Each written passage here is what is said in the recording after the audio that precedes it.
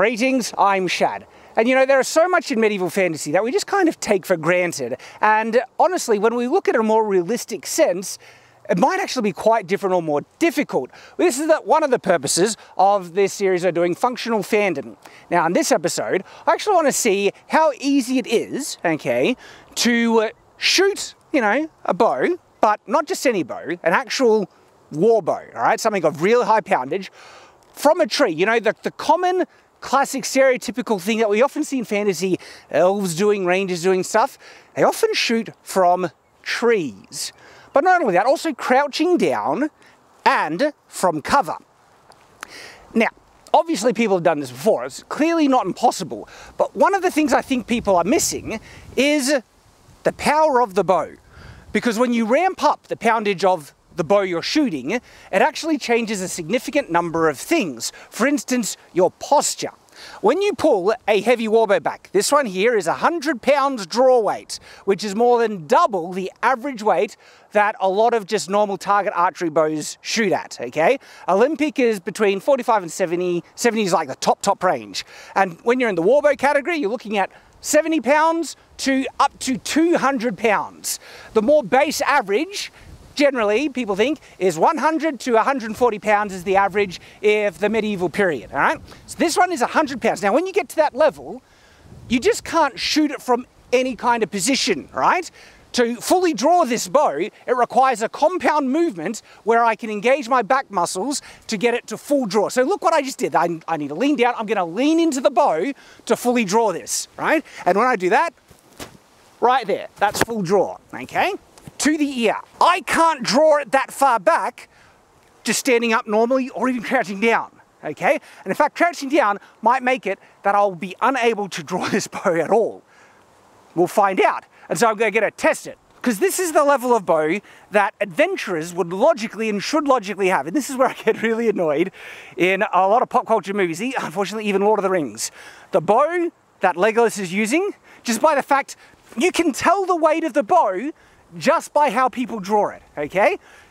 If you can draw a bow let me, let me change bows just for a minute. This is honestly the type of bow that we see a lot in movies. In actual fact, it still might be even greater because they don't want the actors to tire out. And so the poundage of those bows, I think are like five, 10 pounds. This one is one of the lowest ones I have. It's for kids. Well, actually, it's a little, it's intermediate for kids. It's a 30 pound bow. Really, really light though, okay? Now watch how I can draw this because it's so light. I can do this, this is a bad way to draw a bow. It's all on the shoulder, okay? If I tried to draw my war bow, just like, oh, let's do like that, I could injure my shoulder.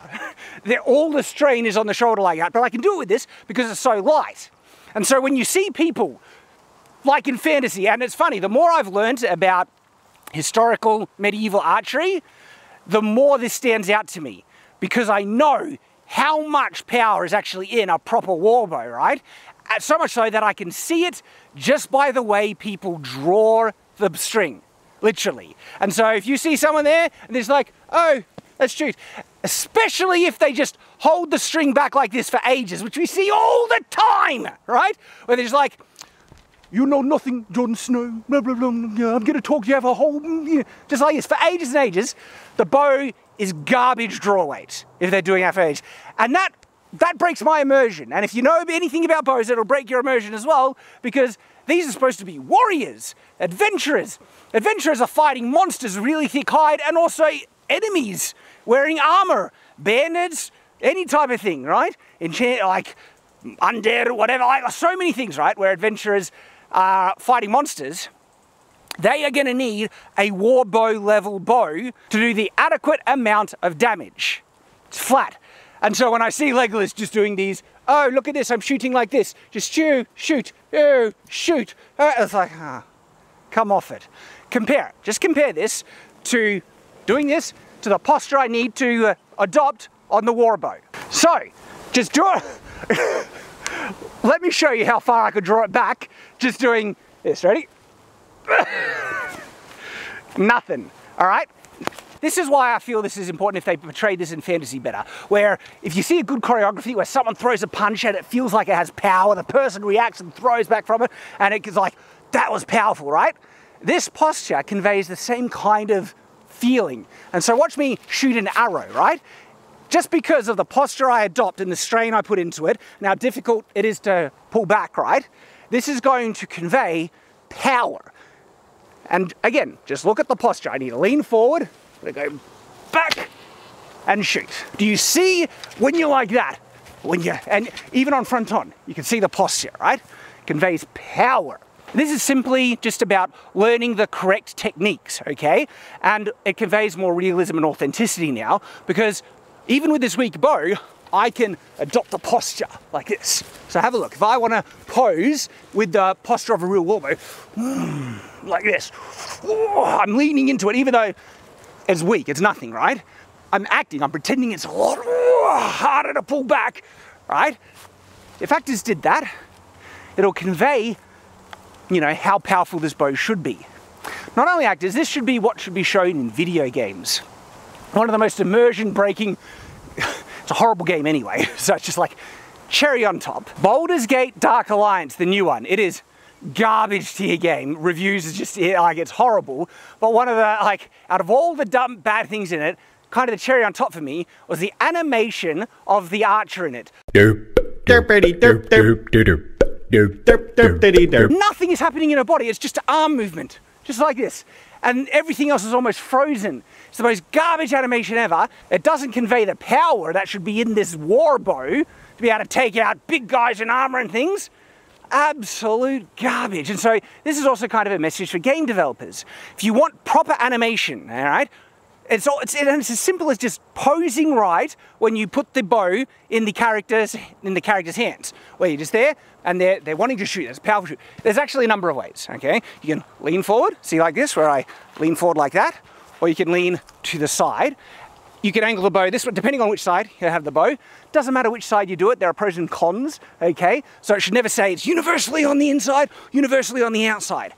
I prefer outside for a number of reasons. I've done a whole, there's like, if you're not aware, there is a saga about that, which side you can logically shoot a medieval war bow from, right? Like which side of the bow. And then the posture, okay? Where you lean in and then you arc your back, you go that and usually you pull down. It's a compound movement. See, both arms pulling. Pull down like that, and you're like, see, can you see the power that's just there? Like, whoa, right? That's the posture video games should be using. Let's see if I can actually get into the correct posture enough to pull back a war bow from a tree, just crouching down, and also from cover. All right, so luckily we have a safe kind of fallen down tree that's close to the ground, so we don't have to risk any real injury. But it also represents a lot of kind of positions or branches that you might need to climb onto. The easiest one here is obviously this one here. Big, kind of horizontal branch where I can just get up here and I'm an elf or a ranger in a tree scoping down the enemies below. Before I even begin, a discussion should be had on the uh, efficacy of shooting from a tree. Granted, it gives you a much larger field of view, that's an advantage, but it also restricts your mobility. You're a pretty still stationary target in this tree. You might get a bit of cover, and so as soon as your position is revealed, you know, is it really worthwhile? If you can take out your enemy, whoever you're scouting, with a good shot from up here, you're just like, aha, there he is. You get it on the string, let me just get the position right. Get on the string and you, you take him out. All right, granted. But if you miss and they start shooting back, having said that, if they don't have any ranged weaponry to fire back at you, you're pretty safe. And if they can't climb the tree, if they don't have the equipment, okay, there might be something to the tree thing. They could just run away. then if they run away, you can keep shooting until they're out of range, and then that, you're gonna have to get down off the tree, of course. Do you have something to say, Oz? Yeah, I was going to say, but if they have uh, uh, ranged equipment, you're screwed. Yeah, that's what I meant. Like, if they can shoot back at you, you might be wholly screwed. They could gain cover because they can move around, get cover behind a tree, and you're like, uh, you know? Whew. The other thing is balance, but I'm not like a dexterous elf, right? Okay, we already saw from the cold open, I can draw, I can get in the position I need to to draw this bow from up here, okay? So if I had someone, my range is a bit limited. Like shooting directly down, I won't be able to draw this bow properly. Shooting directly down. Like watch, ready? I'm gonna, I'm doing both arms, right? And so let's see if I can even shoot directly down. I can't fully draw it. So, if I'm trying to shoot at monsters, thick hide, armor, this is really limiting me. Obviously, when you're up a tree, you're going to be shooting downwards. Now, there is a certain angle. Well, actually, let's find out. What angle downways can I manage while still fully drawing this while on a flippin' log? Because the natural trajectories you can adopt with the posture you need to fully draw a really powerful bow is usually straight or up, okay? angling around, if you want to angle, you can only do so much before you need to realign your feet.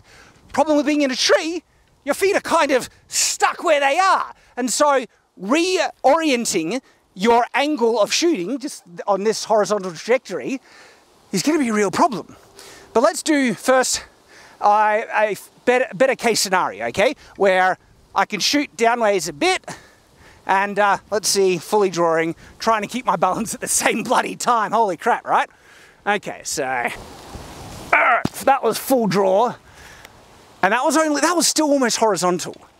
Let's try it again and I'm gonna try and angle it even lower.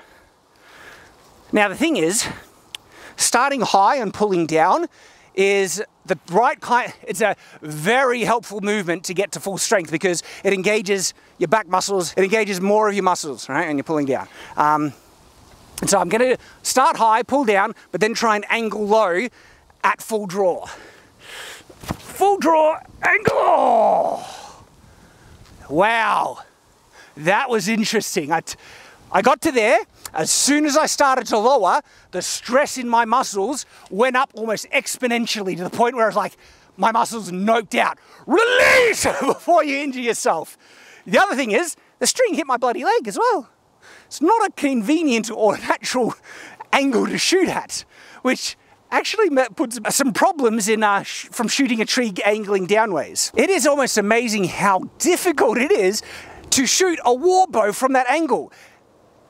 And so much, so many fantasies completely disregard this fact because they just pretend the war, the bow, every, the adventurer can pull back the bow no matter what. But in reality, a war bow is a different beast, and the difficulty to pull the thing realistically should be taken account of, but it's always disregarded. Which is why I, why I wanted to do this video. So I'm going to get into a couple of different positions in the tree, and we're going to try out how well I can draw it from different postures and sitting positions even. And also, just to let you know, this, I'm wearing my, kind of like my Ranger loadout.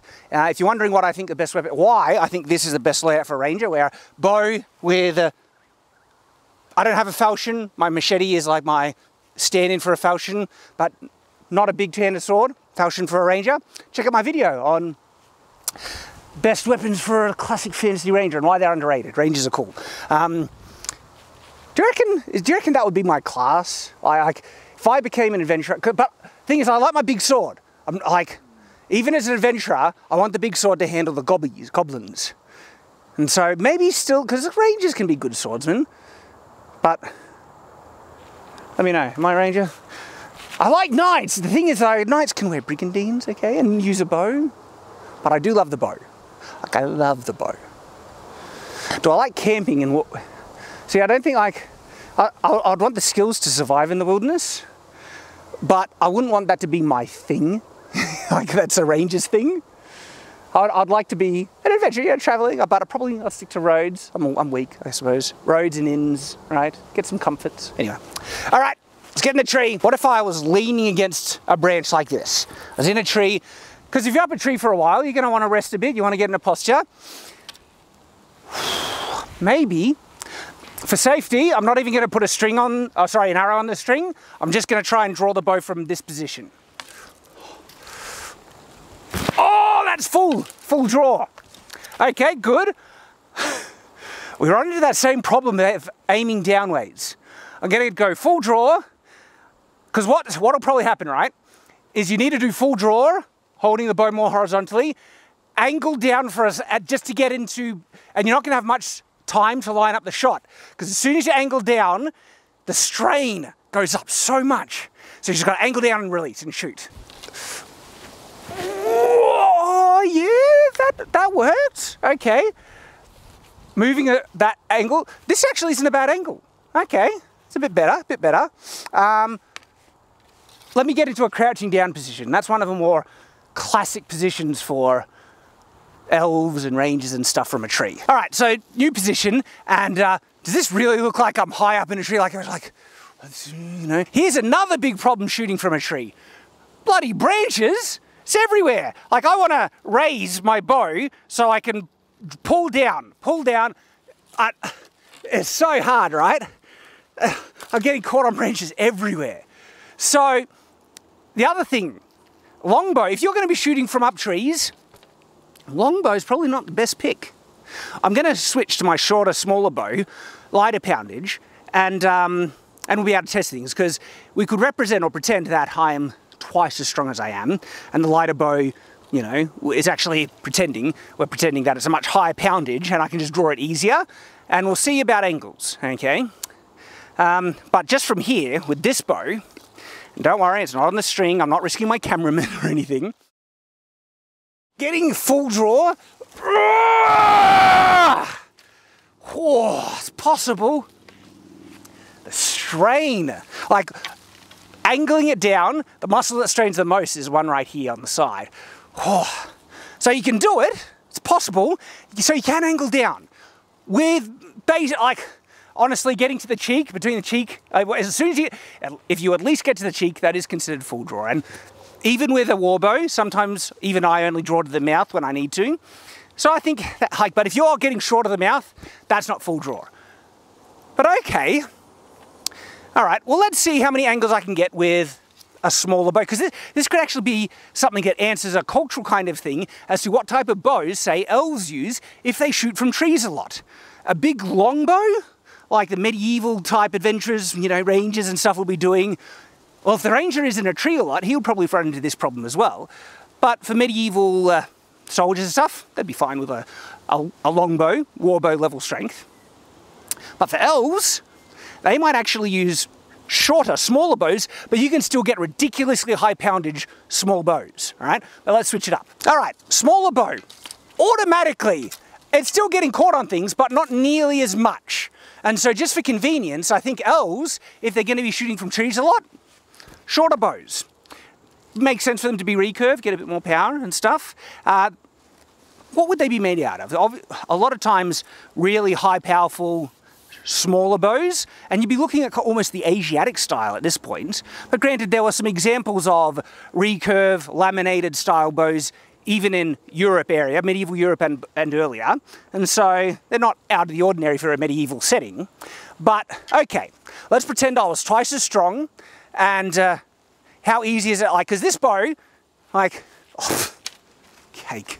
It's almost like any angler, like here, here. You can even go way over there, up, down, around, angle, uh, like there. Cake, cake. There is one interesting thing that um, we'll, we'll test now, okay? So I'm up this tree, but I need to crouch down. So I'm gonna go right here, all right? The crouching position. I don't think I'm, there's no chance I'm gonna be able to draw my war bow from this position. We'll try. So, ridiculously more awkward just because of the size of the bow. But from this position, and pretend, even if I was on the ground like this, okay? Draw, It's amazing how difficult this is, uh, like from this position. Now granted, uh, that's probably maybe 70 pound I reach, but again, I'll get more power out of just a 70 pound bow that I could fully draw. I've got a 70 pound longbow with us. Let's give it a go. So from this position, let's see if I can fully draw 70 pound.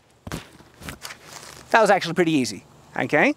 So for me, 70 pound is still warbow range. So for me, if I knew I was needing to shoot from a, this position, and by the way, if I was shooting from this position, obviously the arrow needs to be on the, over the knuckle, on the inside of the bow to rest on top of the bow. If you do it over the thumb on the outside, it's just like, not, it's gonna, maybe you get it work. I know uh, Lars Andersen can because he's a legend, but um, very difficult. So all right, from this position, all right, this, the only problem I have is not my ability to draw it, but that's hitting my body. So if I maybe really needed to shoot and I was leaning down, I would have to go up like this to get full draw. Yep, you can do it. Not a problem. I was showing that I could show, shoot at multiple angles with that really weak bow.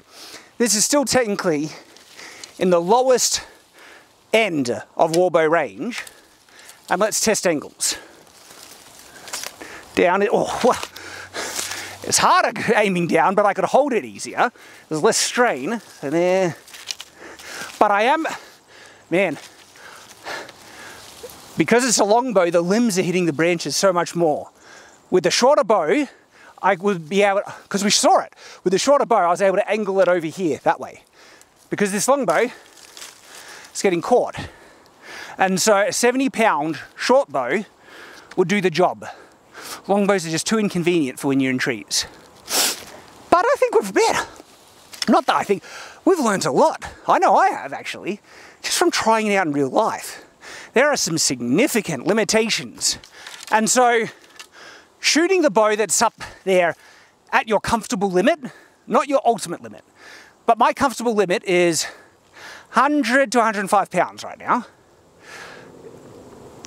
it's too impractical when you're up a tree to get the right angles. And so I need to jump down a couple of pounds to 70 pound, but I can angle this, or I can draw this bow at so many more awkward angles because it's easier. So even just aiming down, watch, I won't even raise high to draw, aiming down, draw, full draw, even aiming.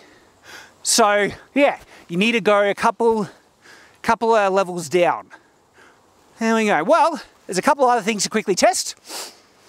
We're kind of crouching down, but I'll do it on the ground and also from cover. All right, crouching down. Now, we already kind of realized from the tree that shooting from a crouching down position just puts you in a posture that you can't draw a bow back to the limit you, you comfortably can. I mean, let me test it because the problem is the arrow, you know, the bow, but if I hold it up a bit, maybe, let's, uh, Let's give it a go, just to see if I can get in the... Yep. Oh man, that went, that went so far. All right. Now, I felt like that got full draw. Yeah, I can, I can reach that. So, shooting up in an arc, definitely. But getting lower, okay? What if I really want to get low? Like, what if I wanted to stay behind this cover? And so you know, I'm shooting here.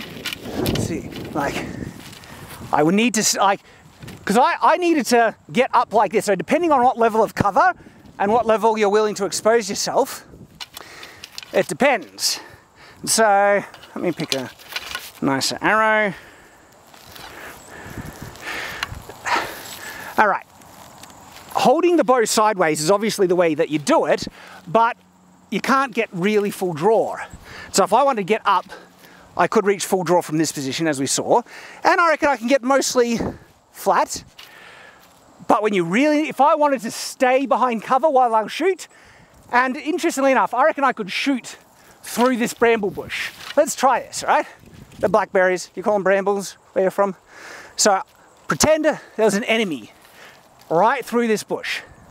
I reckon the arrow will sail through it pretty easily. This is just a test if the arrow will go through easily. And because there's heaps of blackberries off where I'm shooting, I don't want to lose the arrow. So I'm going to do a light weak shot just so the arrow drops and we can find it easy. So I'm just going to go like, if I was like here, I need a, all right, do you see where, oh, I can see where, good. We didn't lose the arrow. Okay. I did something interesting then. To, to maintain your low position, you obviously need to angle the bow people naturally and more commonly do it this way.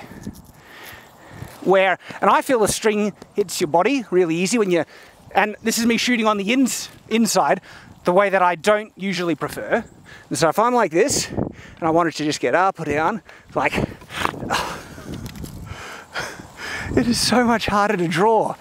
Um, just a minute. If I had a proper sheath, this wouldn't be as problematic. My machete's getting away. All right, so Like, oh, I'm getting tired as well. This is hard. so that's a problem. But this is the advantage of shooting on the outside because you'll be surprised how much I can angle the bow this way and still shoot safely. I can shoot safely this way. I'm not recommending everyone try it. But for me, if I was like this, go like this, and let's see what draw I could reach, even angling it like this. Full draw, basically. Let's uh, let's see. Ready? Even angling it almost like this.